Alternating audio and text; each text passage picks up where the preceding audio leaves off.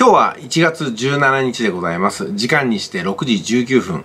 相場解説は週が変わりましたので、週足から見ていくことになります。ご覧いただいているのが週足ですけども、随分懐かしい話になりますけども、ここにエリオット波動が見えているよって言って、実際にエリオット波動が完成したのを覚えてますかね。で、その後推進波がエリオット波動の頭を抜いて、その後エリオット波動の特徴と同じようにそこをね抜けたらどんどんどんどん上昇していく流れが見えてきましたよね。だからエリオタードの効果っていうのは全ての時間軸で言えますんで、これよく覚えておいてくださいね。これに基づいて私はまだチャートは右肩上がり。まあ悪い円安だと思いますけどもね。一時期116円まで行きましたけども、これ120円ぐらいまで迫っちゃうと、さすがに日銀の介入があるんじゃないかなと思います。はい、次はですね、えっ、ー、と、冷やしです。いつもご覧いただいているのが冷やしですけども、えー、私が思ったのはですね、ここですね。ここをブレイクして、下の方にのめり込むと、さらに下の方を深掘りしていくんではないかなと思ったんですよ。で、全体的には右肩上がりなんですけども、難しいのは右肩上がりの中でね、下に行くっていう判断が、買い足でされた時に、じゃあどの程度行くのかなってことなんですよ。私は結論付けたのはここまで下に行くんではないかなって感じるとこなんですけども、さらに難しいのが、今、これ、形成中ですけども、陽線が出てますよね。陽線が出てるんだけども、下に向かう途中で陽線が出ていて、しかもその陽線は上に行くことを暗示させる、この下髭なんですよ。下髭が圧倒的に長いと。だから、今日これ冷やしを見てますけども、この冷やし、明日になるとね、より方向性がわかるんで、もうちょっと冷やしに関しましては様子を見ないと、どっちに向かっていくのかってことが測れないですよね。ただ前提、前提としては右肩上がりですから、迷った時は倍の方に行くんじゃないかなっていう判断になってきます。さあそこで1時間4時間と見ていくんですけどもまずは4時間です。4時間を見た時にこれ右肩上がりなのかそれとも右肩下がりなのか判断つきますか、ね、判断つきませんよね。これね私はね横ばいだと感じてます横ばいっていうのが上がった分だけ戻ってきてるからなんですよだから横ばいかなと思いますただ最後の方見てるとちょっと上がってるでしょ。だからやっぱり右肩上がりに分があるんじゃないかなっていうふうに考えながら次の1時間を見ることになるんですよね。けど反面ね反面ですよ。うんまあちょっと気になるのがこの力点なんですよね。この力点に反応してズボンって上がるのかなと。全体的に N を書くようにね上がっていくのかなって感じるとこもあるんですよ。うん。さあ、それを前提に1、1時間を見ていきます。全体的には、やっぱり右肩上がりのあらゆる時間軸のある中で、1時間だけは圧倒的に右肩下がりでしょ？だから判断が難しいんですよ。難しいということは、エントリーポイントは見出せませんってことですよね。はい、じゃあ今日の結論です。難しいんで分かりませんと。分からないからさらなる検討を続ける。それでいいわけですよ。わからなければわからない。じゃあ、わからないところがどこなのかってことを捉える。今回のわからない原因は、全体的には右肩上がりなんだけども、自分がエントリーしている1時間は右肩下がりだから難しいということなんですよ。だから自分の弱点がわかりますし、じゃあこれを克服するのかっていうと私は克服しません。これがわからなくても勝てているからなんですよ。で、今回は難しいことを何とかするよりも、簡単なところを取っていくってスタンスを考えた時にね、私のやり方はそうですから、簡単なところだけを狙い撃ちしてるわけなんですよ。ですので今回は月曜日から検討する材料なしということになります。せめて1日見てね、冷やしが固まった時に新しい判断が下せると思いますので、今日は一日中チラチラ見に来るだけ、そんな月曜日にしようかと思います。それでは本日は以上です。えー、おはようございます。今日は何日でしたっけ ?1 月18日ですね。で、時間にして朝5時になります。え昨日未確定だったあの陽線、下に大きな髭を出しましたけども、これ確定してですね、大きな下髭で実体がほとんどなくてクロスのような形になって、そのその後、大きな陽線を出しています。というところなんで、ここからね、上昇が始まると思うんですよ。冷やしを見て確認していきましょう。はい、これが冷やしですけども、えっと、ここ突き破るのかなと思ったんですけども、ちょっとね、えー、考え方変更で、ほら、ここ、こっからね上昇に向かってるんではないかなっていうふうに思います。この今お話した下髭の長い陽線と実体で形成されている大陽線ね。こちらの方を見るとこっからは上昇が始まるんではなかろうかと思わせますね。っていうかそういう判断をするんですよ。こういう色が出てたら。下まで行ったのが跳ねて押し目となって今度ねここを超えるというような判断になります。えー、ちなみにですねここを超えた時の判断なんですけどもこれねめったに出ないところなんですけども陰線と陽線が交互に大体同じ太さで出た場合っていうのはこれはね上の方に跳ねることが多いんですよ。もちろんこの陰線陽線が逆になっていたらこっちですよ。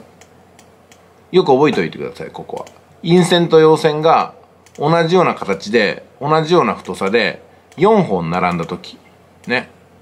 で今回は一番最後の陽線が長いですけどもそうなったら陽線の方向に向かうっていうふうに覚えておいてください。そしてまんまとそうなってるでしょだからここを超えたんですよ。で今回下落がずっと冷やしでありましたけどもここから上昇する兆しってのは下髭がすごく大きく出て下髭が大きく出てねで実体がほとんどないでしょ。実体がこんな感じですよ。で上髭もちょびっと。でその後でそれを強化するようにほらこういうふうな陽線が形成されつつある。しかもこの下のラインがほぼ一緒なんですよ。ね。この丸の中見てくださいよ。この形をよく覚えておきましょう。これはねあの基礎知識でも出るわけではないんですけどもこれね、あのー、覚えとかないと似たようなパターンが出た時に判断がつかないですからね。うん。これはね、絶対覚えておきましょうみたいな基礎知識の中に入ってないんですけども、中級クラスの知識になってきます。じゃあ4時間見ていきましょうか。上昇に向かっていくってことですね。はい。じゃあ、ここが変わり目になって上昇に向かったんだなってことですよね。変わり目だったんですよね。これも包み足になってますよね。下髭をいずれも出して陰線があってで陽線がやっぱり下髭を出して包み足になっています。包み足はもう言わなくてもいいですよね。でここから上昇がぐーっと進むんではなかろうかというのを4時間でも考えられますね。で同じようなところで足踏みの形も似たようになってます。左右対称みたいになってます。ここから上昇が始まるでしょう。で1時間。1時間いかがですか？ここでぐにゃぐにゃしてるのがここでもぐにゃぐにゃしてますよね。変わり目はここです。やっぱり下髭が出ていて揃ってる状態です。で包み足の分解ですけどもこの3本で陰線が出ている部分とこっちに4本の陽線が出ているところとで包み足を分解することができます。4時間の包み足を1時間で見るとこんな形になりますね。でここから上昇トレンドが始まるんじゃないですか。でここは一気にガーンと下ってるとこですから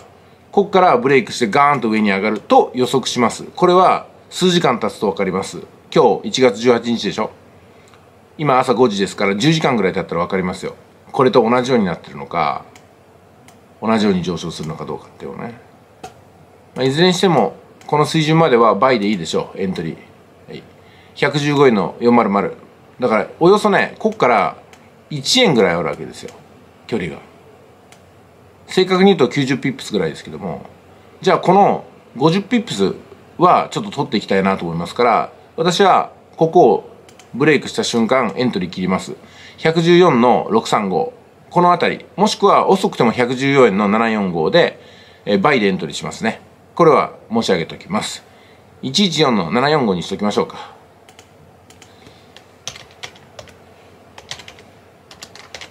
はい、じゃあこういうふうにしておきますね。じゃあ以上でいいかな、じゃあ今日はエントリーポイントを設定して、えー、このまま相場解説終わりますんで午前中にこれが本当に114の475をブレイクして倍の方に向かうかどうかたまに見に来て確認していきましょう。ブレイクしたらその時にエントリーです。倍でエントリー。ではいってらっしゃい。はい、えー、お疲れ様です。今日は1月19日ですね。まあ、朝5時ぐらいの相場解説になります。昨日はね、この赤いラインを超えたら、倍でエントリーするよって形で午前中見させてもらいましたけども、その前置きとしてこちらの方ねここをブレイクしたら大きく上に跳ねるんじゃないか要するにここと同じぐらいの勢いがこっちの方にも出てくるんじゃないかつまり左右対称みたいになるんじゃないかなってことでお話していたと思うんですよで時間見てみますとねやっぱりここグーンと上がったじゃないですか。で色めき立ったんですよね。で私もここでエントリーしましたんで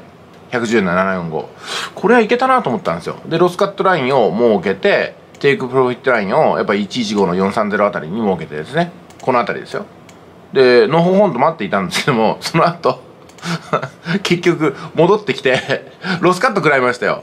うん。だから半分は当たってましたね。うん。ただまあ相場は何が起こるか分かりません。ここで大量の決済が起きて 私はロスカットに巻き込まれちゃって昨日はね損でした。で復活するかと思ったんですけども 結局あの押し戻されたこのロウソク足は収束に向かってですね横ばいに向かいつつあるということで昨日は半分予測があっていたんですけども実際は損害が出てロスカットで終わったというね、えー、情けない、えー、一日になりました。まあけどねこういうのも込みで相場っていうのを進めていこうと思います。4対6の4割の負けの方が来たと思ったらいいんじゃないかなと思うんですよ。まあなんせねあのブレイクしたら上に跳ねるっていうところは合ってたんで半分は正解だったかなと思いますね。ブレイクしたら上の方に跳ねる。それがこっちと同じようにここまでは行くんじゃないかなってことだったんでね。でこの後なんですけどもあの横ばいからブレイクに向かった次はまあ必ずここまでね巻き戻してくれるんじゃないかなと 思います。ああ喉がちょっと痛くなりましたね。ちょっと喋りすぎました。えっと昨日はやられました。でも判断が間違ったとは思ってません。判断は正しかったんだけども結果利益にはならなかった。そういうふうに捉えていこうかと思います。ただ結果的には昨日はロスカットでございました。残念じゃあ今日はね先ほどお話したように横ばいがブレイクに入ったら倍の方に仕掛けていってえー、115円の430まで取っていこうかと思います。なんかここに来てね、110円から115円の間で、釣り合ってきたのかなっていう気がしますね。一時期は120円まで、本当にノンストップで行くのかなと。市場介入でもない限り行くのかなと思ったんですけども、まあ、その懸念はなくなったみたいです。えー、まあ、安定は取り戻したんで、悪い円安は一旦落ち着いたというふうに判断してますけども、皆さんいかがお考えでしょうか？それでは本日は以上です。はい、えー、速稼塾の久保です。えー、今日は1月20日、朝6時の相場解説になりますけども、ちょっと難しくなってきましたね。えー、というのが、上下に大きく触れ出したんですよ。これ、冷やしを見てるんですけども、この辺りちょっと見てもらえます？下髭を大きく出したんで上に行くかと思ったら、今度上髭を大きく出してね、その後陽線なんですよ。あ、陰線なんですよ。ね、この4つの動きっていうのは釣り合っちゃってるんですよね。なんか妙な感じで。で上に行けば下に押し付けられて下に行けば上にあの突き上げ動かされてって感じでまあ横ばいに近い形からダウントレンドが始まってるんではないかなっていうふうに冷やしから見えますね。で4時間の方を見てみるとほらねもう右肩下がりなんですよ。ここからドーンと落ちてるじゃないですか。でさらにここでドーンと落ちて回復するかなと思ったら結局せずに落ちてきちゃってる。こういう風なねチャンネルラインが見て取れるわけですよ。で1時間の方見てみますよ。1時間の方ではなんかね倍の方に繰り上がっていくのかなと思ったんですよ。でも半分しか上がらずにねこれ前お話しましたけどもあの左右対称みたいな形になっていたんですよ。こういう左右対称の形と上から陰線でグーッと戻ってきたのとねそしてここで陽線でグーッと戻っていこうとするのがここがねイコールになるかと思ったらだいたい半分ぐらいしか戻らずにそれ以上の強い力で下の方に引き下げられてるんですよね。えー、ということはね今度はね sell の方で慌ててですけども追っかけないといけないとこの辺まで113円に入っちゃいますね。ということでね結論としては113円に入るつもりで113円にね入ってしまうつもりでちょっと sell をかけていかないといけないかなと、もう今日すぐです、これ。 sell ですね、これはね。うん。現在の価格が110円の234ですけども、あの、本当はね、114円の745っていうふうに赤いライン引いたところがあったじゃないですか。あそこを割った時点で sell に入らなきゃならなかったんですけども、ちょっと動きが私今回遅れましてね。うん。だから今からでも遅くないんで、110円の234で今、あの、マークされてますけども、現在値がね。ここから113円台に落ちるつもりで、つまり20ピップス、30ピップスを狙うつもりで、とりあえずはね、ダウンにかけていく、 sell にかけていくってことかなと思います。えそして、えっ、と、エグジットポイントが113円の590あたりに見えてるんですよ。これサムネイルの方にもつけときます、残しておきますけども。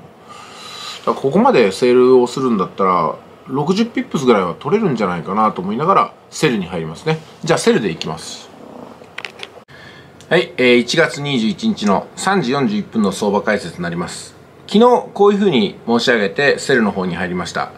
114円の234に入った時にセルですぐにね、エントリー仕掛けて、で、113円の590を目指すよってことでした。えもちろんこれ1日でね、113円の590一気に行きますよって話ではないですからね。徐々にダウントレンドを確認して、ギザギザしながら下に行くってことは、まあ、あのー、お伝えしなくても分かっていただけると思いますが、ご覧のようにね、高値切り下げは、あ、高値切り下げは順調に進んでます。安値切り下げも順調に進んでますね。で、ここ今ね、黄色いの書いたじゃないですか。これは昨日エントリーしてから113円台に入ったってところなんですよ。で、113円台に入ったら、まあ、切り板と言いますかね、やっぱりこう、114円から113円の円の切り替わりっていうのは、え結構ね、あのー、エグジットが起きやすいんですよ。要するに、え、テイクプロフィットなり、ロスカットなりがです。となると、ここで急速に、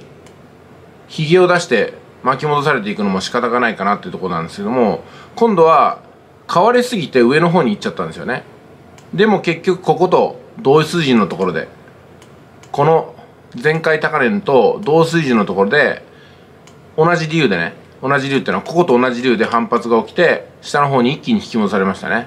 で再び113円台に入りました。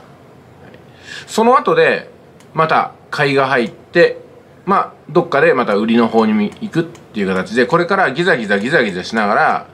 この113円の590あたりまで行くんではないかなと思っております。昨日の時点ではまあこの読みはおおむね正解だったかなと思ってますね。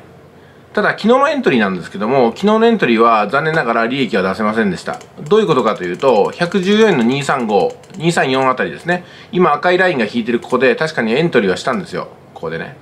でその後113円台に入りましたんでえー、まあロスカットを受けてもゼロになるようにゼロラインを設定して下の方にグーッと持ってったんですよ。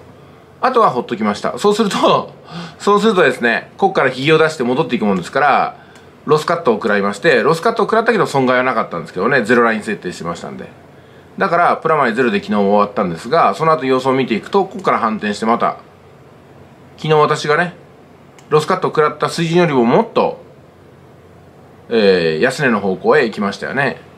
あのドル安の方向へ。まあ、ですんであ読みは正しかったなと。全体的な方向感はこっちだなと。いうことで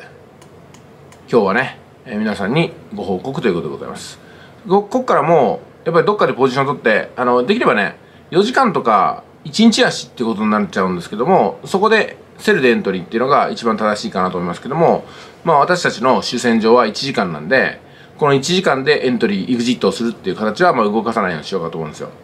そうなると、どういうふうにすればいいかっていうと今エントリーしたところが例えばね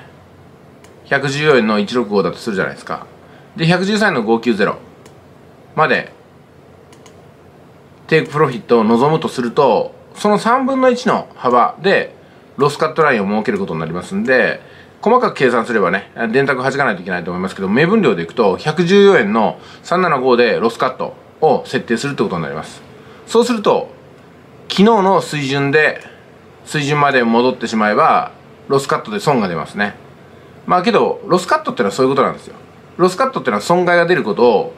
どこまでの損害だったら今回のエントリーで許容できるかってことなんでね。私の場合は110円の375ちょっと正確に計算しますけどね後でね。110円の375あたりで、えー、ロスカットラインを設けますね。なぜなら take profit ラインが113円の590だからです。そしてエントリーするところが114円の今この瞬間だったらね165ですね。